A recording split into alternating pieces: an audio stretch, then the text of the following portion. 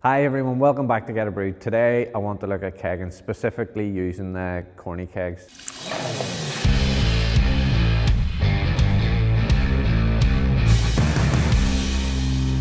It's, it's commonly known as corny keg, full name's Cornelius keg. It's available in multiple different sizes. So this one that I have here is 19 litre. Um, you can see it's stainless steel body, it's got a black rubber top and bottom. It's available in multiple sizes, 6, 9, 12 and 19 litres. It comes with um, two ball lock posts, you can see here on, on the top of the corny keg and it's actually got imprinted in to it there in and out. The reason it's got that in in it for you is to indicate what one's liquid and what one's gas. Just pop this lid off. I'll explain the lid to you. So once that, that goes in at an angle and round and then you just push pressure down on the bail there. So rubber seal, rubber O-ring, that will move slightly when you start to put CO2 into the corny keg. That's perfectly fine. It's just finding its, its seal. Um, this little uh, pull ring here is a PRV, which stands for pressure release valve. So you can pull that up to let uh, gas escape um, if you've overcarbonated or you need to adjust the pressure. So that's your lid. You can see on the out post here that there's a long dip tube that runs down to the bottom of the keg and you can see on the gas post here the end one there's a very small dip tube. So for ease for this video I'm going to show you these parts separately. So here's the two um, ball lock disconnects. The only difference with these, this, this is the little poppet. So that's a little poppet that sits inside. The difference between the liquid and gas is, is quite easy. So there's little marks on the nuts of the gas post, whereas the liquid post is smooth. So that's your two posts. Um, in beneath those posts, you'll see there's a dip tube. So on this side on the gas, it's much shorter and that's a good indication for when you're filling the keg that you just cover that with liquid and then you know that you've filled the keg adequately. And then this is the liquid dip tube. So we sell all of these things as spares. This is um, a brand new uh, corny keg. There's lots of people out in the market there selling reconditioned second-hand corny kegs. All of our corny kegs are brand new, multiple sizes. All the spare parts are on stock. So that's taking you through the body and the makeup of the corny keg. Now, when I say they're multiple sizes, people ask me why they're not so much cheaper for the little dumpy ones as they are for the big ones. Um, the money is in the components for the top and the bottom and the seaming of that. It's not in the sheet of stainless steel on the side, so they're all of the same diameter. It's just a different um, length of stainless sheet around it. So that is the corny keg covered. Then how are they commonly connected? So they're commonly connected with the use of ball lock disconnects. And two ball lock disconnects here. The difference explained in the colour is the lighter ones, they come in white or grey, um, is gas, and the black ones are liquid. Now, there's two different types of John Guest fittings and Duotight fittings. They're quick release fittings, so they simply thread on here. So this is a threaded 516 or threaded to 8 mil. Uh, we'll, we'll, pop the product codes up so that you can get access to these. That's the Duotight version. Um, we'll pop that on the gas post actually. This is the John Guest one quarter FFL 238, so it screws on there. Um, as I've explained, gas and liquid under pressure, you're not going to want anything to leak. You may wish to consider putting some plumber's tape on the thread before you screw that on, some PTFE tape. And when you're putting your quick disconnect tubing on, you want to make sure that you're doing a really neat um, cut on that. So this tubing should arrive to you. You can order it in meter length. So if you order one meter, we cut it one meter. If you want five, it usually comes in a roll. My guys should be cutting this with a nice straight edge, just with the Stanley blade, ensuring that there's no tears, rips, or imperfections. And then how this works with the quick release with the hard and clear tubing and the John Guest fittings is simply pops in and then you pull. If you want to release it, you pull the little disc in around the sides, push the tubing in and then pull nice and quickly to release. And if you want to reseal, just line it up, pop it in and pull back to lock it in place. So that's liquid covered. And then if we take um, gas ball lock disconnect, this occasion it's 5 16ths to 8 mil. Um, some hard and clear 5 16 tubing, pop in, securely locked in place, and that's gas. So look, there's options there if you want to make, instead of using plastic, we have um, the stainless steel ball lock disconnects available as an option. They have the same threaded finish as do the plastic ones. So you can add the quick disconnects. So we've covered the makeup of this, the connections, so you know how do you connect the ball lock post. So, so take our gas in post here, you can see that these ball lock disconnects have bearings inside them and you can just pull them up and down with your fingers there like that. So to pop this on, you pull it up using finger and thumb, put over the top, and then I just usually push, I usually just push to hammer that home. That's that on securely. You can see there it's all nice and secure. This is all nice and secure and this has been cut nice and straight now. So to disconnect that, again, um, usually I would use this sort of movement, two fingers and thumb, pull that up and it just pops off nice and easily. Um, for maintenance and cleaning, these come off with like a socket set. So just take that off. You can see what the inside of them looks like here. So the little poppet which pops through into, into here and the seals, make sure they're in good condition. The liquid works in the exact same way because it's the exact same fitting. So when it comes to um, filling the keg, what you're going to want to do is put your um, beer into the keg and there's a multitude of different ways that you can carbonate that. So you can naturally carbonate it by adding sugar and doing secondary fermentation, a bit like bottle conditioning or you could um, add pressure using a CO2 tank and a, a, regulator.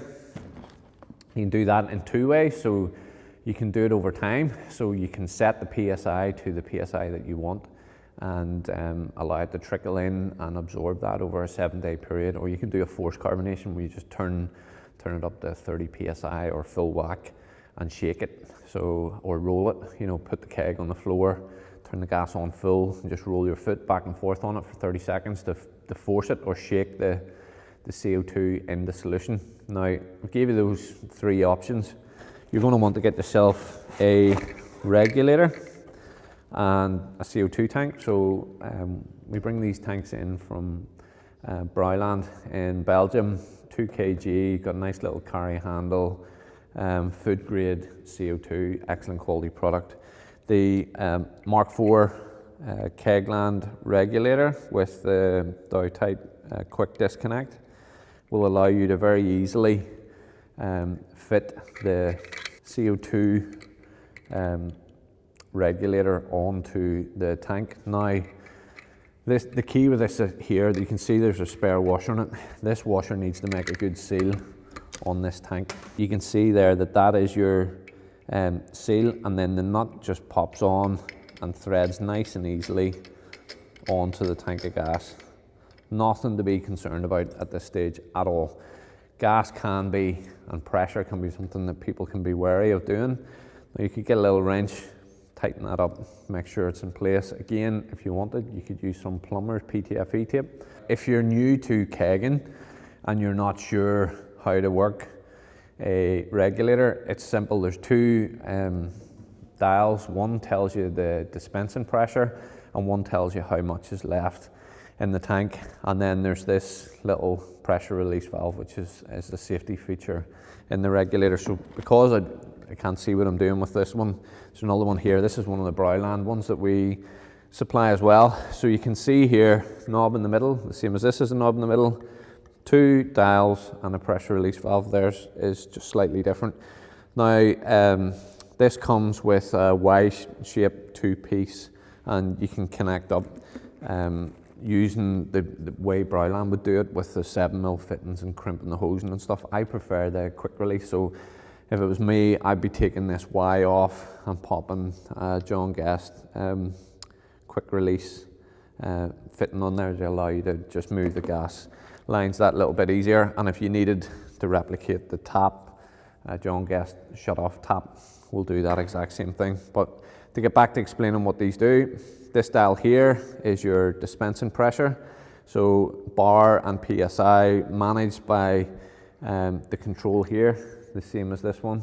So just positive and negative adjustment of the, the dial. And then this little dial here tells you what's left in CO2 tank. Different beers will require different levels of carbonation. So a Saison will be very highly carbonated, effervescent, and that's part of the style.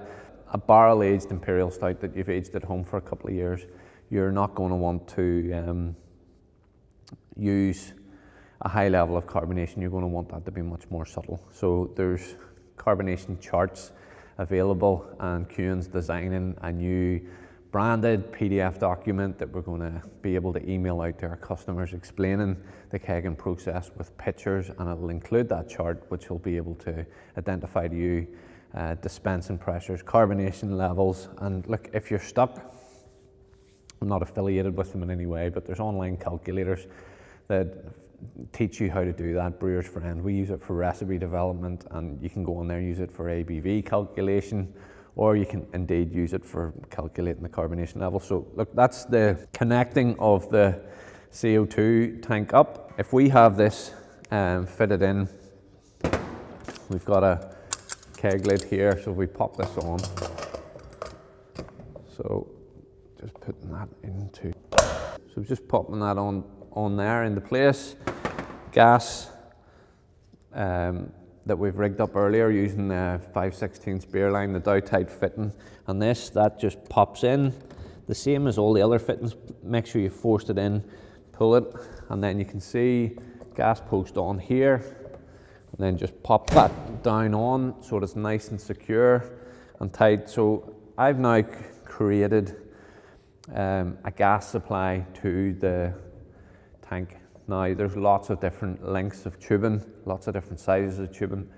Personally, I don't think it matters, but we're going to go with 5 16ths for the gas and 3 8ths for the liquid. So we've got the regulator rigged up, and if we turn on our gas supply, we'll hear that there's a leak there.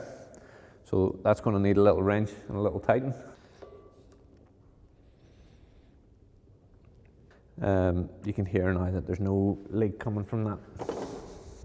So we've got the gas on and then we adjust the flow with the use. You can hear, well I hope you can hear, the gas is starting to flow into the tank now and if we pull the pressure release valve you'll hear it's releasing gas out. So that's gas, CO2, ensuring that you've got a nice seal ensuring that you've got no leaks and then this will just pop off um, as explained earlier. And quick release fittings here if you need to use them pull the little disc in. And pop that. Actually whenever you go to pop that out it's a good idea to pull the pressure release valve to dispense any extra pressure before you pop that off. So that is very briefly looking at how to add your regulator. It works the same way with one of the Brouwland regu regulators as it does with the Type 30 on the CO2 tank. Okay, so we've looked at the lid that comes with a corny keg and we've put a bit of gas into it. So we have other options. So there's a soda carbonator lid that's available on the website. There's a lid that has a ball lock disconnect and a barb on it and you may wonder what that's for. So it's the same as this lid only it's got a ball lock disconnect at it. And the reason that's there is it's, it's another option for carbonating should you wish to do it. So I'm going to put a bit of silicone tubing on and connect a carbonation stone. Now you can see that I have the carbonation stone there in the plastic bag. The reason for this is um, it's, com it's compressed uh, stainless steel and it's very porous and the reason you don't touch it with your hand is uh, the oil in your skin can get onto it and can block it up and can also be Um, very easy to get an infection with these. So if you're going to be using this and re repeatedly using it, I would suggest that you um, boil it for a short period of time, maybe five minutes or up to 10 minutes to, you know, to really pasteurize it, sterilize it and clean it before use. Okay, so that's that lid with the ball lock disconnect. Obviously you're going to have a bit of silicone tubing or beer line long enough to go to the bottom of the corny keg and this on the bottom. So just another solution for when it comes to um, packaging and how you carbonate. Um, I've mentioned that we have spare parts, we have the ball locks, we have the lids, um, we have the, the seal kits. Um, because they're brand new corny kegs that we sell, you'll get a long, long time out of them before you'd even need to consider that. But say you've bought refurbished or second hand and you need those replacement parts are available on the website. Finally, on gas, just want to see it sitting in front of me. Um, if you want a gas manifold to go with your gas tank and you want to do multiple things, say you want to carbonate a keg, you want to dispense a keg, and you want to use gas for transferring beer or something, you can get these in multiple sizes, two, four, and six. Um, and it's just little um, gas taps, best described, or a manifold of taps with a little fitting on the end, and you can put the Duotight or John Guest quick release onto that, so your gas supply would come off your tank. The options are there for you if you need to add extra gas lines or if you want to add extra kegs, but the basics stay the same. You transfer gas with hard and clear beer line. This is, you know, um, food grade, premium quality, and you can choose whether you prefer the, the brand Duotight or John Guest. You get the plastic or stainless steel ball lock connectors. So it's getting it into your mind then what way you're transferring, what lengths of tubing you need.